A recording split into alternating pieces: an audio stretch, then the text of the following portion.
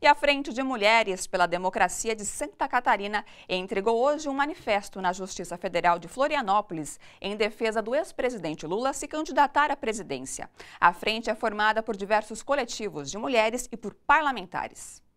O documento foi entregue nesta tarde à juíza federal Cláudia Maria Dadico, da Justiça Federal de Florianópolis, e exige que o recurso apresentado pelo ex-presidente Lula seja julgado pelo Tribunal Regional Federal da Quarta Região de maneira isenta e justa. Esse documento diz que nós não aceitamos uma condenação sem prova.